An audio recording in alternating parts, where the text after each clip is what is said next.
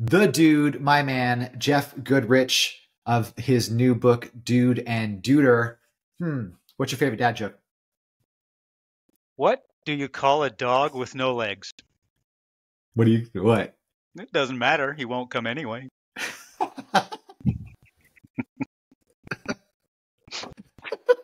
My bad, Jeff. Uh, thanks. Uh, I could have laughed for a little bit longer. Uh, tell us a little bit about just uh, cue us up a little bit about your story here. Yeah. So my, like you said, I have a newly published book, and my book is essentially how my dog saved my life. Hmm. And so that's why we started with a dog joke because the dog, his name is Duder, and I can tell a story how the name Dude came about. But it's essentially how my dog came into my life and I went through a midlife transformation. And this is my lessons that I learned from Duder, and it's my story of transformation. is is my book. Yep. What's the story of Dude? So, okay, in my book we have uh, Duder is now six years old, and he's a Vizsla, very very active dog. And as I through the last few years, just watching and observing him, I was looking for lessons from him. Okay, Duder did this. What can I learn from it? And the, how Dude came about was in it when this all started. Jay, I was in a really bad place when I was 49 years old and hit 50. I was 75 pounds overweight. I was living what we call the standard American lifestyle, eating bad, drinking my daily Dr. Pepper, watching TV on the couch every single night, absorbed in sports, absorbed in politics, all of it, right? And so I was in a bad place. My wife, who I've had, my wife been, we've been married for a very long time, was actually considering divorcing me. She was putting some plans in place. I was not having a good relationship with my kids, not having a good relationship with life. Everything just was sucked, right? So we started, I decide to bring this dog into my life. We bring this new puppy in and we take him for a walk every day. That's how it all started. But one of the lessons we learned from him is when, and anyone that owns a dog has seen this, the first time a dog sees themselves in the mirror, it's kind of a funny experience, right? So Duder, I was watching him, he looks in the mirror and he's trying to sniff, trying to smell. I, I can't smell anything. What's going on? You know, and it was kind of a weird thing. And the lesson I got from that is at that time, when I looked in the mirror, who did I see? Mm. And I was at a state, man, I call this my cringe factor. I'd look in the mirror and just cringe because I did not like who I saw. I had to truly change who I was. And so, the same way that when Duder looked in the mirror, he didn't know who he was seeing, I was looking in the mirror and I did not like who I was seeing. Mm-hmm. Who do I want to see in that mirror? Who do I want to be? And so, what I did in my head was create an alter ego, and his name is Dude. Mm. So the idea is that dude is the guy that has no regrets. Dude is the great dad. Dude is the great grandpa, the great husband, the guy that looks at life with optimism. Dude is the guy I wanted to be. So I had that's how dude came about is when I looked in the mirror, I wanted to see dude instead of the old me. So that's kind of the story of that. I love it. Um, these kind of transformations are um, I mean, take a long time. When did you when did you realize that you had stopped faking the new identity and just become the dude? that well, you can answer that a couple of ways. One is sure. the, you know the old cliche: life is about the journey. Sure. So, do I ever reach a point where I have become totally dude and the old me is is totally gone? I don't think you ever will. I don't think you can. I think part of it is the is the journey to continue the process. Um, so I started with Duder just doing the daily walk. We just would go for a walk every day, right? And that's how it triggered. And and we just walk every day, walk every day. And after about a maybe a year and a half of just walking every day and really getting inside my head, having my self conversations and, and becoming aware of a lot of different things, um, I started running one day.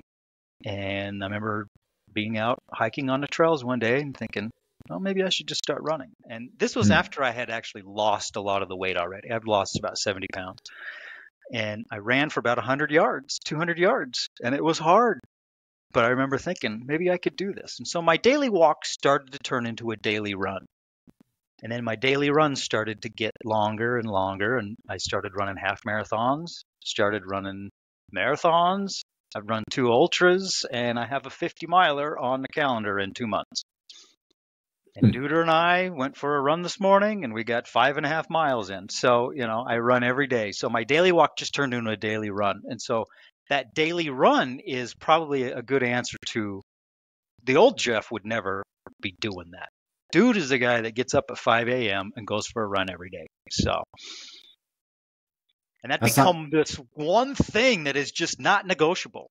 I live in in in up in Idaho, and I used to live in in Utah. And the winter times, running in the snow and the cold is hard, but I still did it every day. I even have some running shoes with some spikes, so I can run on the ice. I love the um, uh, well that that's dedication. That's that's pretty awesome. Um, what are some of the? I, I love this idea of you're checking yourself out in mirror. You're trying to determine who you are. There's a certain level of self awareness in that. What are some of the other things and behaviors that you learned uh, from watching Duder? Okay, well, let, us go back to when I just first brought Duder in, and we would just start going for the walks. And and these weren't long walks. I'm not talking about going out for a four hour walk. We're talking sometimes 10 minutes, sometimes 30 minutes, right? Just to go outside. The dog needed to go out. I needed to go out. And so I would leave the phone home and just have these conversations with myself and conversations with Duder. Dogs are great mm. therapists, right? I'd talk to him and man, he would listen and everything. What I looking back on this, Jay, three main things happened during this about a year's period of time, right? One is just awareness. Mm. And like you said, self awareness. Just awareness that something's not right. When I look in the mirror, I'm cringing. When I just look up at the sky. I'm like, you know, whatever. Everything was, I was became aware that I physically was not healthy, mentally was not healthy. Uh, just my view of the world was just not healthy, you know. So that self awareness is a key part. If you're not aware that something's wrong, you're never going to do anything. The second thing was choice. At some point along this time, I said, I've got to do something about this. I didn't know what. I didn't make a choice to do something. I just made a choice to do something, but not a clue what to do yet. But I said, I'm going to do something. I make a choice. And then the third thing was explore my why. Why do I want to do this? And this is where fatherhood comes in. Is hmm. you know the natural thing. Well, my why. Oh, I want to do it for my wife. I want to do it for my kids. I want to do it for my grandkids but then you also really have to dive a little deeper. And my so that was my initial why, and then I start adding things. My my why why I do things has evolved, and it actually continues to evolve to this day. Hmm. Because as as more ideas come into your head, well, why do I want to do this? Why do I want to do this? But it still always comes back down to my wife, my kids, and my grandkids. And then you hmm. have to ask yourself, but and you know, in the theme of fatherhood, why? Why are my kids my why? What's important to me to to do something for them? What's important for me to be a good father? What why is that important to me? I had to really explore that and spend a lot of time doing that. And I'm not sure that you can actually fully come to a complete realization of what that is because a lot of it just resides in your emotions. It resides in your gut, resides in your emotions, because it's just one of those instinctual things as a father. I have three daughters, and it's just instinctual that you want to be a good dad. So, I think that that that transformation, especially when it comes to feel good fatherhood and new fathers, is something that we do a very poor job of onboarding new dads into in, into this new mm-hmm. relationship. Um, there's a uh, you know one of our feel good father ideas is this idea of the ritual or this uh, this idea of the new identity of the fatherhood and um, in societies and tribes past there's usually something for the father to do uh, something for the father to prepare. I think of, you know, if we go even back into the American history, into the Puritan days, it might be he might build the crib. And so that's kind of like his his material contribution to kind of what's going on. And there are some other separate societies that each have their own ritual, but a lot of it had to do with the fact that the father had some sort of role where he was telling society, telling folks, hey, I'm adopting this new role. Old life is leaving, is being left behind. New life is being adopted. Here's a signifier of that. Uh, and so I think that that is something that, from the feel good father perspective, uh, definitely requires uh, some new um, adoption, I think, by society. That's something that I would love to see that us as feel good fathers extend to other new fathers as we onboard them into this new identity. I'm really curious about some of the whys. Like, what was this exploration? And let me cue this up just a little bit more. I found with my dog Luna that it unlocked things and emotions and care for me in having this dog that um, were parallel and distinct from my role as a father to to my two daughters. And so um, i'm kind of curious to and we can kind of talk about that later on like how you actually feel about Duder and what has that unlocked for you and how do you apply it.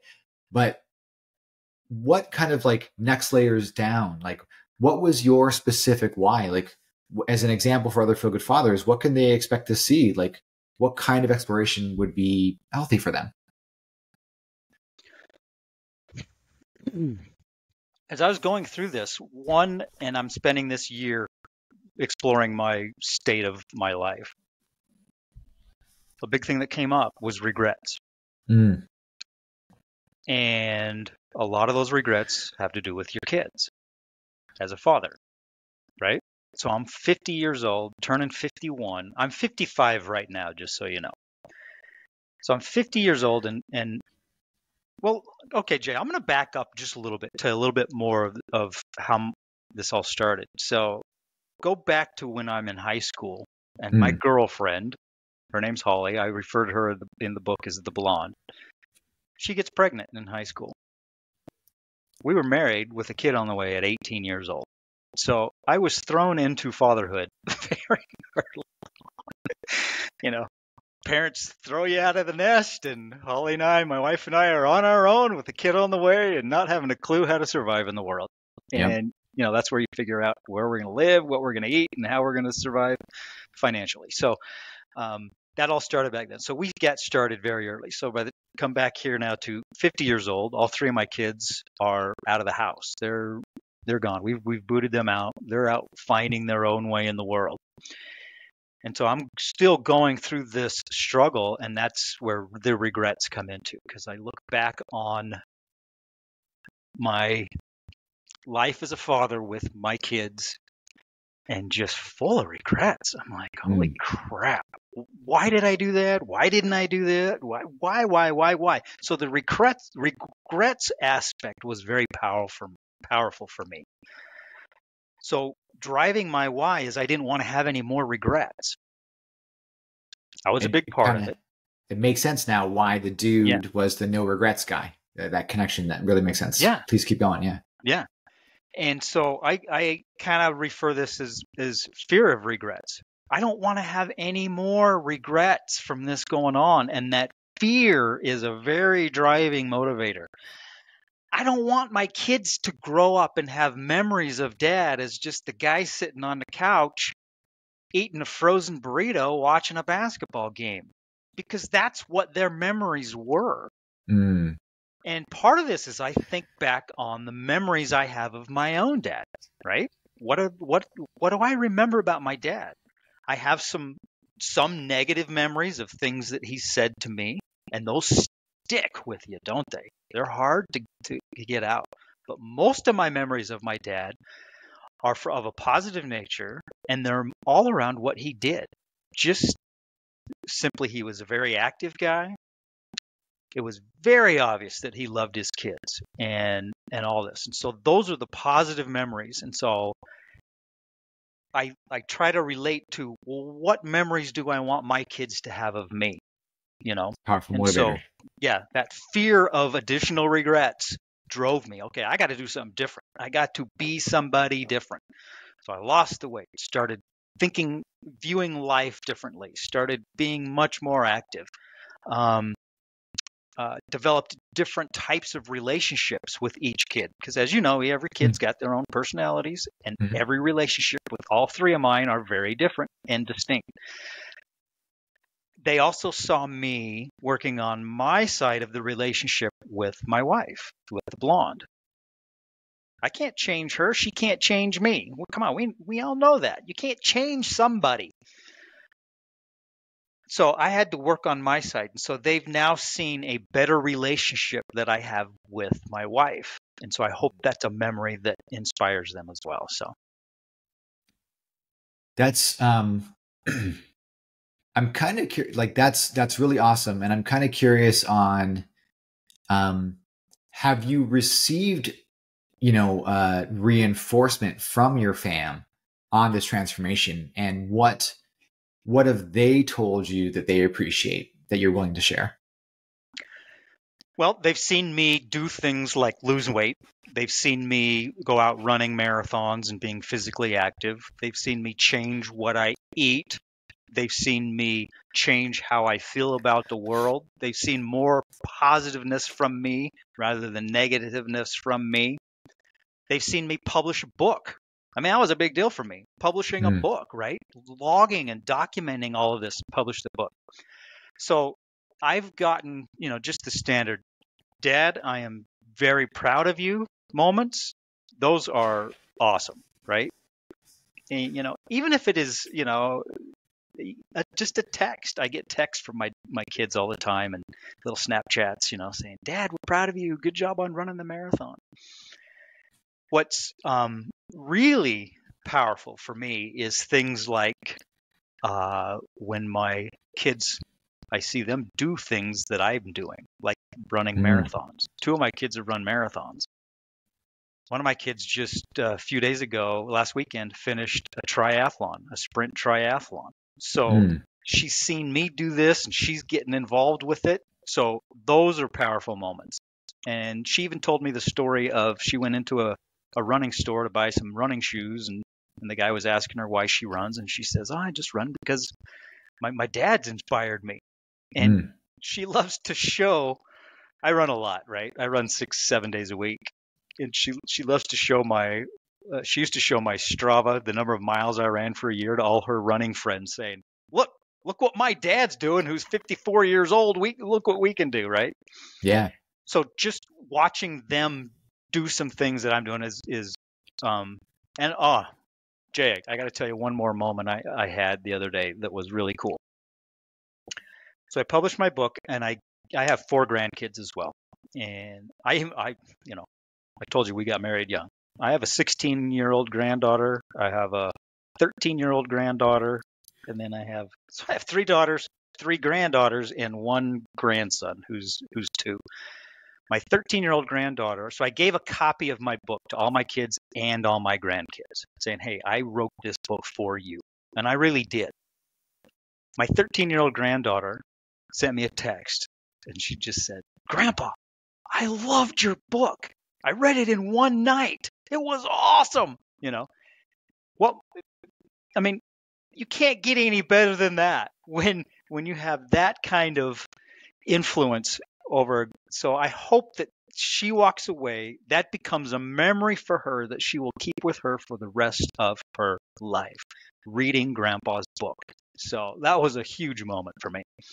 Keeps me going. Just, oh man, excites me. So you got your 50, your 50 mile. I was going to say 50K, but it's 50 mile or 50K? It's a 50 miler. Yeah. 50 miler. Okay. So a significantly different number um, than a K uh, coming up what um what do you like what do you think you're going to keep doing to grow and learn from from Duder even more? Like, do you think that there's another set of opportunities? You have some other things with with these dog relationships in the future. You know what what are we looking at here? Well, a couple things. So the whole idea of me running a 50 miler is I, I got into this state where I had to keep challenging myself if you don't challenge yourself, you'll never change. And I needed change, significant change. So the running became symbolic of all these other challenges I had to do. Mm. I had to find some humility to help my relationship with my wife. That was as challenging as running a marathon. I had to change my diet and my lifestyle. I canceled my TV subscription because I had to change my inputs because watching TV every night just there's just no value to it. I mean, it. Eh, yeah, every once in a while, I'll sit down and watch a movie, but crime and he's doing it every night. There's just nothing there. So those are challenges. It takes challenge to change what you eat. It takes challenge to change your inputs. So the running and the all this, the endurance marathon running is just symbolic of all these other challenges. It was a challenge to write a book.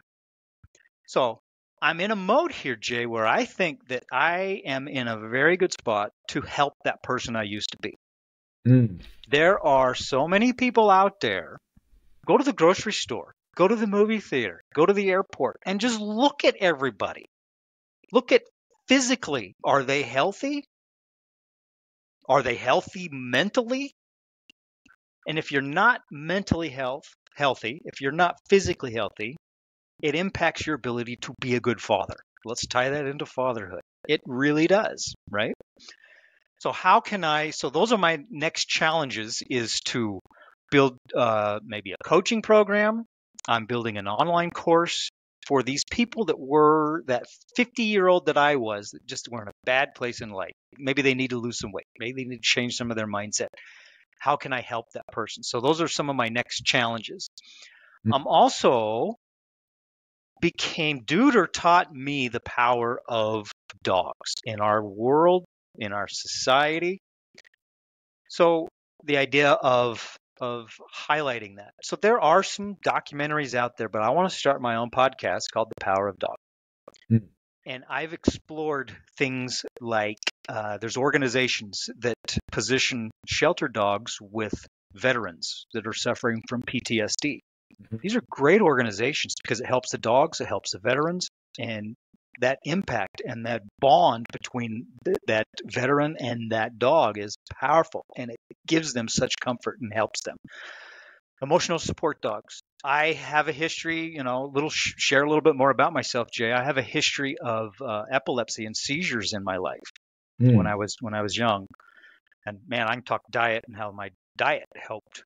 Diet helps with that, but seizure dogs. These dogs can be trained to uh, be positioned with someone with epilepsy and sense when a seizure is coming on and physically get under that owner so that when that owner starts to have a seizure and maybe falls to the ground, they will land on the dog. So these dogs can be trained to do this kind of stuff. And so these mm. are just fantastic stories. There's so many stories of dogs and the impact they have on people and our society. So that's one thing I want to do is start this podcast of, of that. I think I have two core two core ideas and two core I think uh, question lines of questions I'd like to really go down. The first would be for the feel good father listening that is a younger father. Mm-hmm. Right, the average age of fatherhood is going to be today. It's going to be in the mid 30s to probably early 40s. Uh, because that's really it's kind of following the average age of marriage, which is uh, a lot older uh, for men. And so I'm curious for our young feel good fathers. We know that there was a sense of regret. Um, what were sort of the big pitfalls or, or, or things that you would impart to a, a new feel good father that, that happens to be young? Like what, what are some pieces of wisdom or or, or, or things that happen to you that um, that would be worthwhile sharing? I would say that I, when I was thrown into my fatherhood at a very young age, I really didn't know what I was supposed to do as a father. I didn't know what I didn't have a clear feeling of what my role is as a father. What am I what am I supposed to do here, right? And and it took a lot of time to do that. So for mm. the young fathers, I would say explore that a little bit. What what do you think your role is? What do you want your outcome to be as a father? Do you want to uh, you know, put the chains on that kid and have them do exactly what you tell them to do so that they're going to live the life exactly how you want it? Probably not. Hmm. Do you want to, is your role to provide them with some tools and some knowledge so that when they're ready to get out of the nest, they're ready to find their own way in the world as best that they can. That's kind of what I evolved to. Was I there at the beginning? Absolutely not. I have a clue. So I guess, and so how does a, a young father get to that? Is really explore that. What is my role? What do I want my legacy to be? Right? On one way to do that is one thing I've actually been exploring in the last uh, four or five months in my my journey as I keep learning all new kinds of things is this idea of of looking at the world in from my future self side. Mm. So if I'm a young dad, write yourself a letter when you're 30, when you're 35, when you're 40. Write yourself a letter so when you're writing your letter as your 40 year old future self. And what has been your impact on your kids? Write a letter to yourself as your 35 year old future self. What has been your impact on your kids? So that you have kind of a clear understanding of what you want your legacy to be when you're that age. When you're my age and your kids are finally moving out of the house, what do you want your legacy to be? So start thinking about that future self idea. And I've tried to incorporate this in just about everything I've done. I actually, I've got a 50 miler, as you mentioned, Jay, coming up. How do you prepare for that, right? This is a brutal race. It's 11,000 feet of vertical climb. It's not just 50 miles flat running. It's crazy stuff. Okay. Physically, you have to train and all this, but the biggest part of a race like this is all in your head. And so hmm. I've actually wrote a letter to myself as that guy standing at the finish line. What does it feel like? What am I going to feel like when I cross that finish line? Am I going to be excited? Am I proud of myself? You know, all this. I wrote a letter to myself. So I guess that's one idea that the, the young dads today can can really explore a little bit. What do you want your legacy to be? I love this idea of being accountable to your future self. This idea of uh, projecting into it and then growing into that person that you want to be.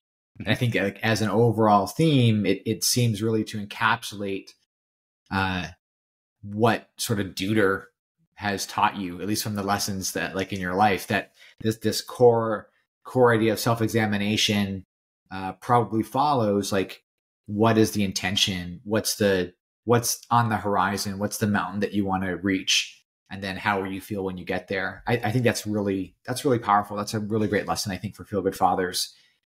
How about when it comes to uh, dogs. And so there's the the classic dog versus cat thing. So so let's talk a little bit about dogs in the family. Like what have you perceived as far as bringing an animal into your house? I have a chapter in my book called "Are Dogs Better Than Kids?" Explore this a little bit. In some ways, dogs are better than kids because they're, you know, in some ways they're not. But um, yeah, so my wife and I, our kids are out of the house. We bring Duder in. We actually have brought a couple other dogs in since then as well. So they're they've become our new kids. Is these dogs because the kids are gone and they're they just part of our daily life. Um, yeah, I don't know how much stuff we want to share here, Jay, but my wife Tons. and I have been married 37 years. Congratulations. I'm, gonna I'm gonna tell you a story here, and I do not recommend this for everyone, and I do not recommend this for anyone who has been married for less than 35 years. My wife and I do not sleep in the same room. I sleep in the basement in my own room. She sleeps upstairs in her own room. We found that that works well because I wake up early and I go running every day. She has a different pattern, but we both find that we've been married long enough that we can pull that off. But Duder sleeps in the bed with me. So he's a core part of my life. I mean, he's with me all the time. I work from home. He's he's in the other room right now, waiting for me. We went on a run this morning. We're gonna go on another run tomorrow morning. He's just a poor part of our life. We have another dog named Roxy right now, and um, and she's kind of like my wife's dog. And my wife has an Instagram page for the dogs, Duder and Roxy. If you want to follow them, she's got some great pictures of our, our dogs up there. But one story here is we had Duder, and then we got another dog named Daisy, and she got hit by a car. Mm. And we went through a period of time where she had, one of her legs was amputated, and she just got worse, and we ended up putting her down. But the the effect that we felt, my wife and I, of going through this and losing a dog was a lot more than what we expected. I didn't think that we would have this many emotions. And it became evident of just how much those dogs became part of our lives. I mean, they are part of our kids. They're as much our kids as our. And my, all of my kids, well, two of my kids have dogs themselves, and so they feel the same thing. So, it, it's it's pretty interesting. I'm I want to call back to sleeping in separate rooms because that's not uh, that concept is is not unheard of in our history as married peoples. That's true. And so, um, you know, when I when I think back to nobility in Europe to all that time period, it was very common for this the spouses to sleep in their own separate spaces. Is this something that uh, you engage with or dialogue with with your friends, or is it is it common information? Uh, what what are their reactions? How do you respond to it? Oh, I write about it in my book, so anyone that's read my book knows knows about this, right? Um, I I just I don't. frankly, it doesn't matter if anyone else approves or not.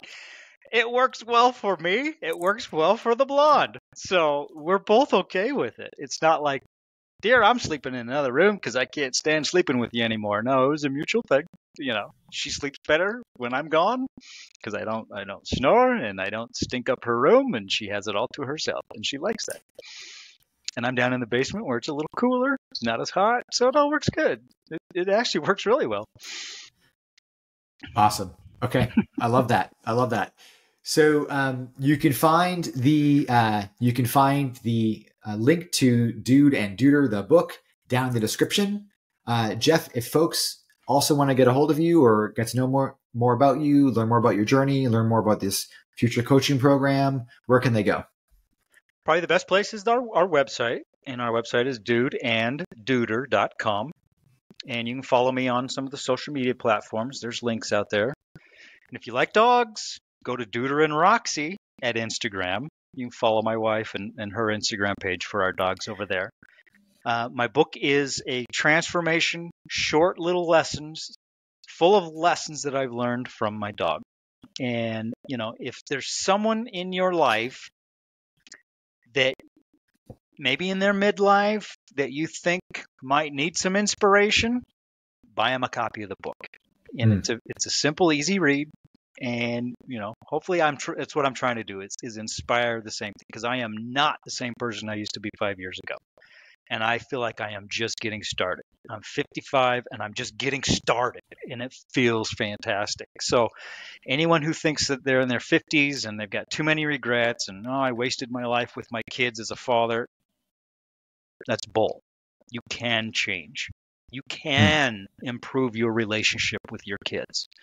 You can be a good grandpa. You can still have a strong legacy out there. So that's my final message right there. Awesome.